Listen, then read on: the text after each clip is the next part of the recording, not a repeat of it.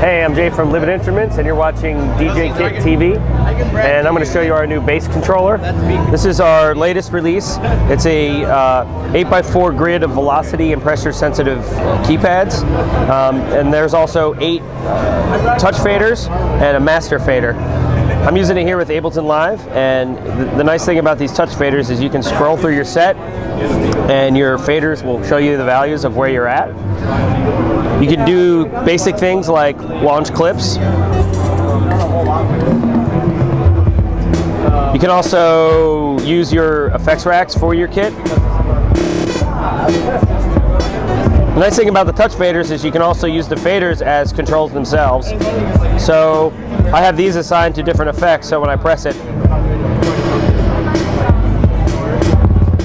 the harder I press, the more effect that it puts onto it. So it kind of gives you a nice a nice feel, um, a nice way to uh, creative expression without just moving knobs or moving faders.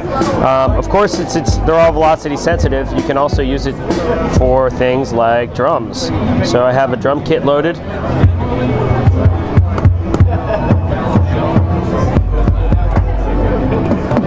But not just drums, you can also play instruments. And the way we've designed it is real low profile. So you can you can move the you can move your hands over the over the instrument. You can also change the octaves and the scales.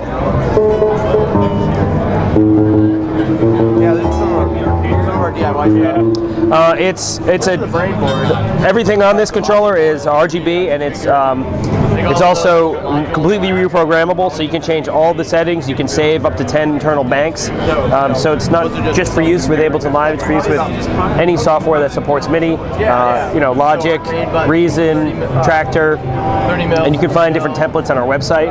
Um, These buttons, RGB. yeah, so that's Base, our, our, our, our latest toy.